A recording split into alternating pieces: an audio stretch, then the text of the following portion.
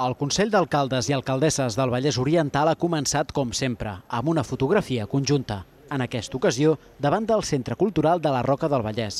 L'equipament ha acollit la trobada dels batlles ballesans, una reunió en què s'ha aprovat l'adscripció del Consorci per a la gestió de residus del Vallès Oriental al Consell Comarcal. Hi havia consens eh, per part de tots és que eh, el que era lògic és que l'administració fos el Consell Comarcal, no fos un ajuntament, sinó que fos el Consell Comarcal que representa tots els ajuntaments a la comarca.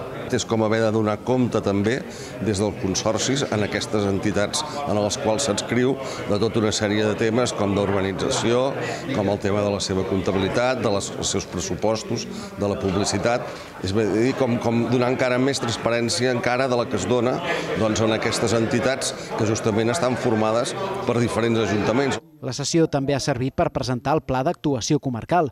Es tracta d'un full de ruta que defineix quins són els reptes del Consell. Entre ells, destaca el Servei Comarcal d'Habitatge, que des de fa anys ajuda les persones que estan a punt de ser desnonades. Des del Consell Comarcal hem anat incrementant els recursos, tant humans com econòmics, en, el, en, el, en matèria d'habitatge, perquè entenem que és una problemàtica doncs, molt important a la nostra comarca i que hi havíem de fer front.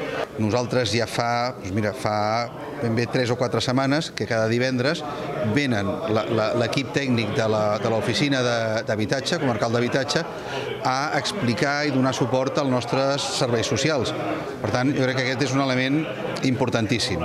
Finalment, també s'ha presentat el nou projecte d'Apindep, la cooperativa sense ànim de lucre que ofereix serveis a la dependència i que està formada per persones amb discapacitat subministrarà a les escoles vallesanes ampolles per reciclar oli.